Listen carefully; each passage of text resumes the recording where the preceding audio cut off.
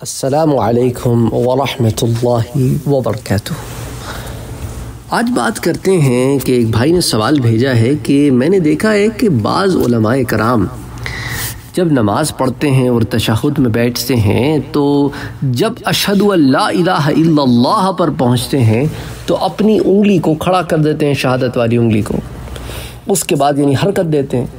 उसके बाद जब ला इल्लल्लाह में जब इस मुकाम पर पहुँचते हैं कि इल्ला तो छोड़ देते हैं। और छोड़ने के बाद बजाय इसके कि सारा के सारा हाथ, सारी उंगलियाँ, अंगूठा ये सीधी रान पर बिछा लें तो सीधे हाथ की ये जो शहादत वाली उंगली होती है, वो तो बिछा देते हैं। लेकिन ये जो उसके बराबर वाली उंगली होती है और अंगूठा, इसका एक हल्का दायरा बना लेते हैं और शहादत वाली उंगली बिछा देते हैं तो ये बात मैंने बाज़ के देखी है, वो इस तरह करते हैं और बाज़ नहीं करते। तो जो करते हैं, उनके पास क्या दलील है? आज इस पर बात कर लेते हैं। जो करते हैं, उनके पास क्या दलील है कि तशहद में अशद अल्लाह कहते हुए शहादत की उंगली को ला पर तो उठाया जाता है, पर इल्ला पर छोड़ दिया जाता है। तो इस ज़मीन में बहुत सी हदीस हैं। इनमें से एक हदीस आज आपके साथ शेयर कर लेता हूँ, ताकि बात मुख्तसर हो, समझ में भी आ जाए। हज़रत वाइल बिन हजर फरमाते हैं,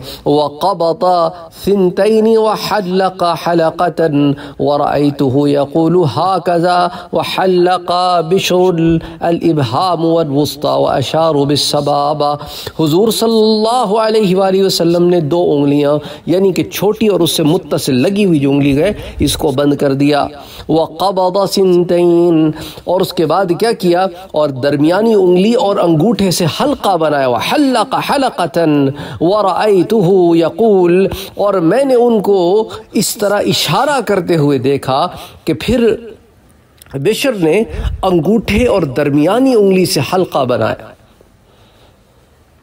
और अंगुश्त शहादत से इशारा किया।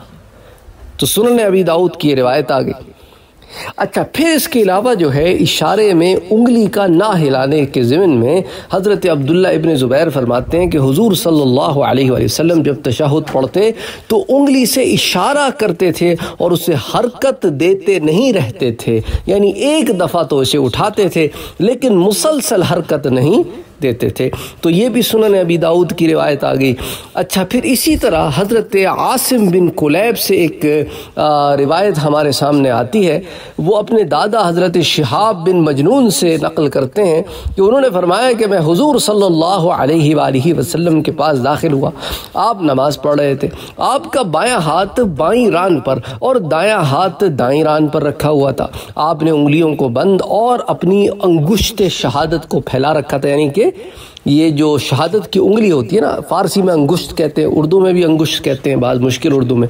तो इसको फैला रखा था, यानी कि, और आप ये दुआ पढ़ रहे थे, यानी कि बाकी उंगलियों को तो बंद किया हुआ था, बाकी उंगली जब बंद होगी अंगूठे के साथ तो क्या होगा, जैसे पिछली रिवायत में आया था, दायरा बनेगा।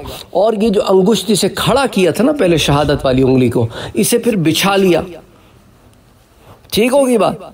और ये दुआ पढ़ रहे थे फिर, या मुकल्लिबलूबी सबित कल्बी अला दीन का कह दिलों को पलटने वाले मेरे दिल को अपने दीन पर साबित कदमी अता फरमा। तो ये तिरमिजी शरीफ की रिवायत आ गई।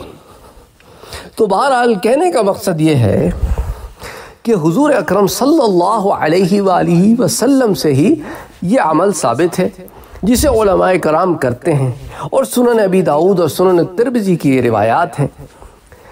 तो अब जो लोग इससे मुख्तलिफ़ फ़्याल करते हैं, उनके पास भी कोई हदीसें होंगी। अल्लाह आलम बसवाब तो बहरहाल, कहने का मकसद ये है कि इस तरह के जो मामला होते हैं ना, ये आला और ओला के मसले होते हैं। अब हमारे यहाँ एक अजीब सा कल्चर पैदा हो गया है। लोग सवाल भी लिख के भेजते हैं। भाई, क्या वजह है कि आप लोगों की नमाज़ में फ़र्क, नमाज़ में फ़र्क नहीं है मेरा भाई? नमाज़ में फ़र्क पता है किसको बोलते हैं? कि एक इमाम कहे कि दिन में पाँच नमाजें हैं और एक कहे कि चार हैं। अच्छा एक कहे कि पाँच नमाजें तो हैं, पर मगरिब की दो रकात पढ़ूँगा। ईमान से बताओ, कोई कहता है मगरिब की दो रकात फ़र्ज़ है? कोई कहता है कि दिन में पाँच से कम या जायद नमाजें फ़र्ज़ हैं। कोई नहीं कहता ना। तो मालूम यह हुआ कि नमाज़ों में इख्तलाफ नहीं है। नमाजें सब के यहाँ उतनी ही हैं। पढ़ने का तरीक़ा भी उसमें थोड़ा बहुत इधर उधर आला और ओला में इख्तलाफ हो गया। कि भाई शहादत की उंगली के मसले में हो गया। आमीन बिल सिर या आमीन बिल जहर में इख्तलाफ हो गया। कि भाई ज़ोर से पढ़ेंगे, आहिस्ता पढ़ेंगे। अच्छा बिस्मिल्लाह, ज़ोर से पढ़ेंगे, आहिस्ता पढ़ेंगे फातिहा के साथ। रफ़ा या दैन करेंगे या नहीं करेंगे, ये आला ओला के मसले तुमने झगड़ा बना लिया ऐसे। क्यों? क्योंकि आपने सुना ही झगड़े वाले मौलवियों को है। या वो लोग जो मौलवी नहीं है, लेकिन झगड़े की बातें ही करते हैं। ये क्यों और वो क्यों और फलाना क्यों, जिनको सारा वक्त एक ही चीज़ चढ़ी रहती है, हम ठीक, बाकी सारे गलत। अस्तगफिरुल्लाह अज़ीम यानी कहने का मकसद ये होता है, बहरहाल, कि वो ये तासर दे रहे होते हैं कि माज अल्लाह ये जो तरीके से नमाज़ पढ़ रहे हैं, ये तो सुन्नत से साबित है, और दूसरे लोग जो तरीके से पढ़ रहे हैं, वो साबित नहीं है। इससे बड़ी जहालत कोई नहीं है। इन मसलों में उम्मत को फंसा दिया है। अब लोग इसी में झगड़ते रहते हैं।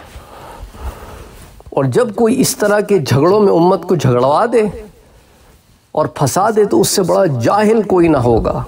यानी उसे खबर ही कोई नहीं है कि कुछ हदीसें अगर तुमने पढ़ ली हैं तो इसके अलावा और हदीसें भी तो हैं। लेकिन अब क्या करें? अब अकल पे पर्दे पड़े हों या अकल पर ये तासुब पड़ा हो कि बस मैं ठीक हूँ और सारे गलत हैं तो फिर ये जहालत होती है और लोग फिर पढ़े लिखे तो आगे होते नहीं। उन्होंने तो इन्हीं पे तकिया किया होता है। वो कहते हैं जी, हदीस में ये आया है तो वो यही समझते हैं कि शायद हदीस में ये ही आया है। आगे लोग भी तो माशाल्लाह होते हैं ना। तो ये ज़िम्मेदारी है वाइजीन की तरबियत करने वाले इस की कि वो कहें कि भाई देखो, ये तरीक़ा भी हदीस में आता है और इसके अलावा तरीक़े भी हदीस में आते हैं। हम इस तरीक़े पर कारबंद हैं। तुम्हारे दूसरे मुसलमान भाई जो फला फ़िक को फॉलो करते हैं, उनके यहाँ ये मसला यूँ है। तो तुम एतराज़ ना करना मोतरज ना बनना, इसे लड़ाई, झगड़े और फसाद का आज मसला क्या है? कोई रफद है यदैन पे लड़ रहा है? कोई टांगे कितनी खोलनी है लड़ रहा है? कोई नमाज़ में हाथ कहाँ बांधने, उस पर झगड़े हो रहे हैं? कोई आमीन बिस्सर आमीन बिल जहर पे झगड़े कर रहा है? यानी एक अजीब माहौल बना के रखा है। ये पहले नहीं होते थे मसले। ये मसले जो उठाते हैं ना, इनके गिरेबानों को पकड़ के इन्हें मिंबरों से उतार के मस्जिदों से निकाल देना चाहिए। लिटरली इन्होंने इतना उलझा दिया है उम्मत को, इतना उलझा दिया है उम्मत को कि जिसकी कोई हद नहीं। कि इनकी अक्ल शरीफ में जो आ गया है, इनके तरीक़े में जो बात आ गई है, उसके अलावा कोई बात ठीक ही नहीं समझते। खुदा का खौफ करो यार। किन मसलों में तुमने उम्मत को फंसा दिया है? वही मसला हो गया है कि लोग इसी में पड़े हुए हैं। इससे निकलते ही नहीं। या ये भी उनका एक तरीका होगा कि इसी में फंसा के रखो, इससे निकलेंगे तो कुछ और सोचेंगे ना।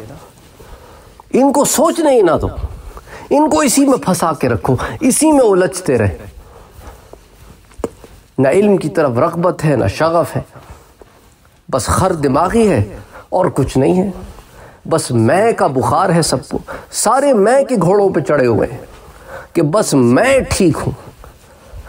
अल्लाह अकबर, न हिल्म है, न बुरदबारी है, न अदब है, न लिहाज है।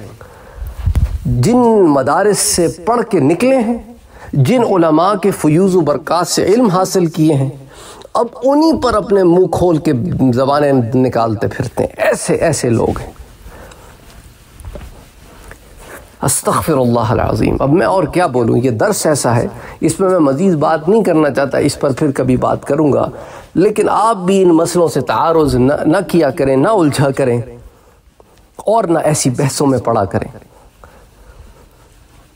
असलकम वरहमल वर्का अगर आपने अभी तक हमारे चैनल को सब्सक्राइब नहीं किया है तो सब्सक्राइब का बटन दबाएँ, बेल के आइकॉन को प्रेस करें ताकि आपको रेगुलर नोटिफिकेशन अपडेट मिल सके और आप हमें हमारे लाइव सेशंस में भी ज्वाइन कर सके। वीडियो पसंद आने की सूरत में लाइक शेयर और कमेंट करना ना भूलें।